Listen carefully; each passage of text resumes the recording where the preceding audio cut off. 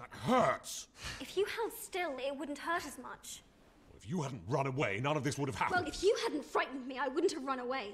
Well, you shouldn't have been in the West Wing. Well, you should learn to control your temper.